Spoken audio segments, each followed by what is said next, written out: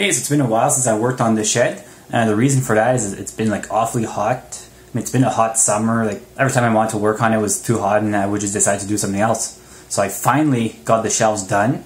I'm gonna go ahead and show you the footage. And most of it is just uh, time lapse, nothing too fancy. So here we go.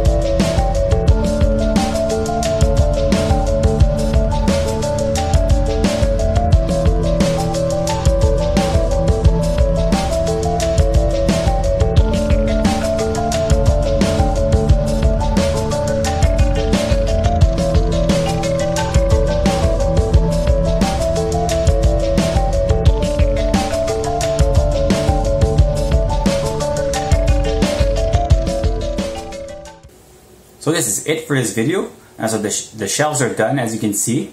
And now the next step for the shed is pretty much small finishing touches. Like I might want to add another electrical outlet. I might want to do some automation stuff like for the solar system so that if the battery gets too low, it'll shut off the inverter, that kind of thing.